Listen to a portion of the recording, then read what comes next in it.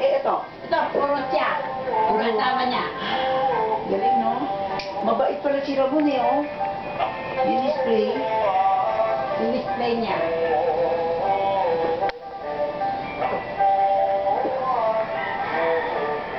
Nakakatuwa yung mama ni Ramon, no? Oo. Bakit niya yan? Ang rep. Yan yung rep, Rom. Yan ah.